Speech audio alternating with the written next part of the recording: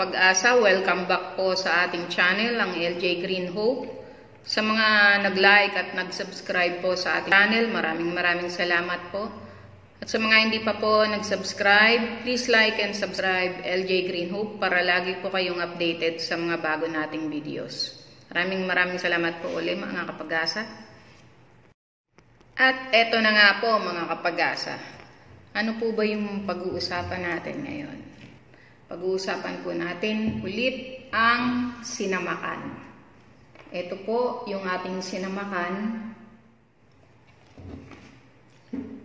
Ang sinamakan po natin, mga kapag-asa, kung naaalala nyo, meron po akong video po nito, yung una kong video na sinamakan insecticide.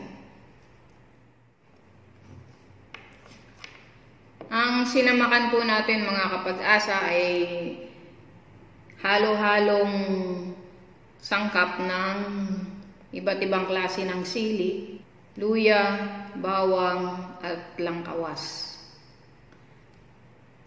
At suka.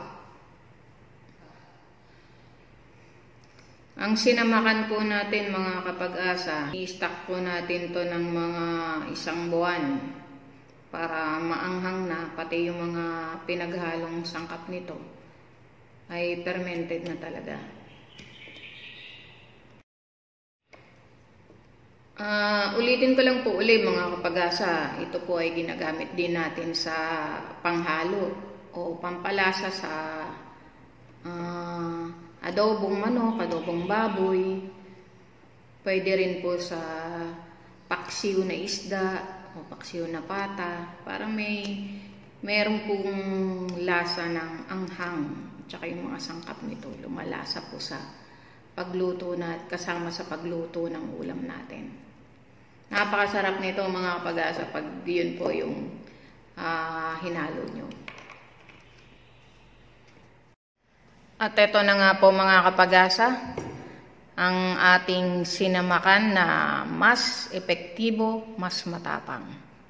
Meron po tayo ditong tubig, meron po tayong dishwashing liquid, at ang ating sinamakan.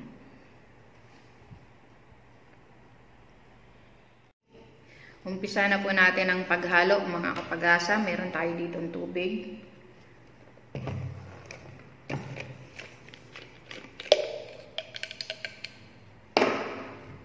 At ang ating liquid, dishwashing liquid.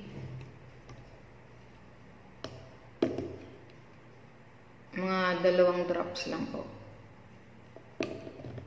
Ayan. At ang ating sinamang.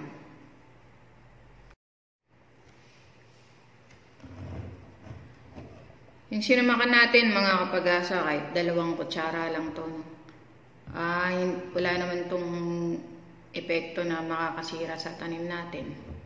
At dahil organic naman yung ating ano, natural na ingredients lang to. Depende po sa inyo kung ilan yung gusto nyo. Kung gusto nyo mas matapang, mas marami.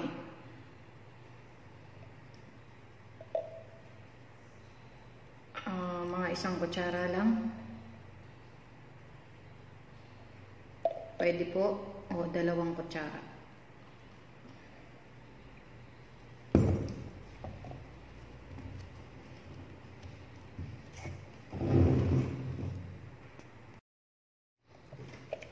Pan po natin mga kapag-asa. I-shake lang natin.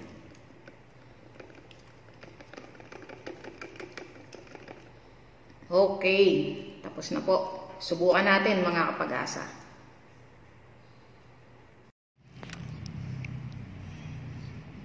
Subukan po natin dito sa sitaw mga kapag-asa. Kung mapapansin nyo po, may itim-itim tsaka may mga langgam ito. Yan po yung sakit ng sitaw. Isprayan po natin ito.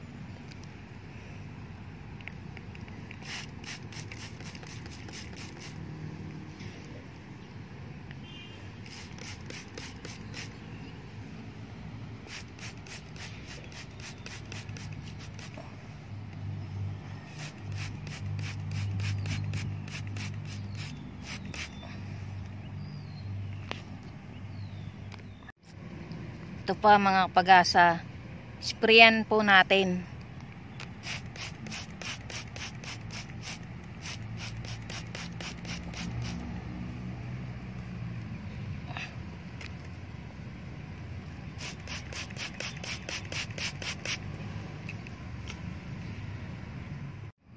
May in-spray tayo dito mga kapag-asa. Tingnan nyo po yung mga langgam. Hindi na gumagalaw yung iba.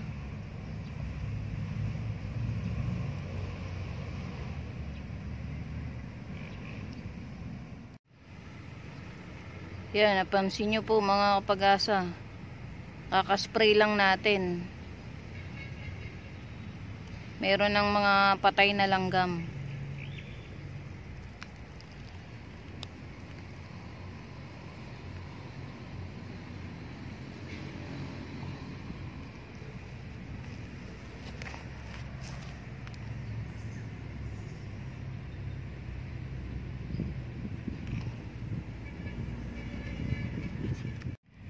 Yan yung pruweba po na effective yung ating sinamakan na may dishwashing li liquid.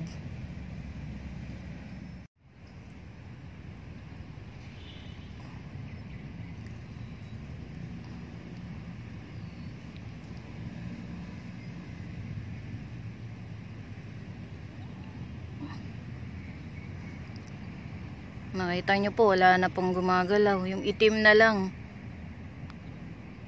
ang naiwan dyan.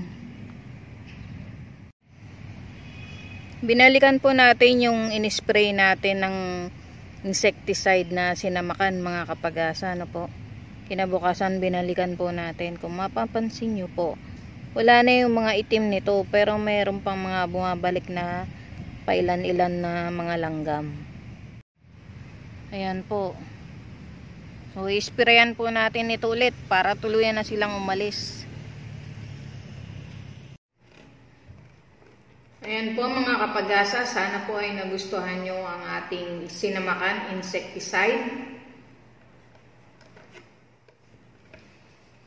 Malaking tulong din po sa atin to mga kapag-asa. Meron na tayong sausawan, meron na tayong pampalasa sa ulam, meron din tayong insecticide.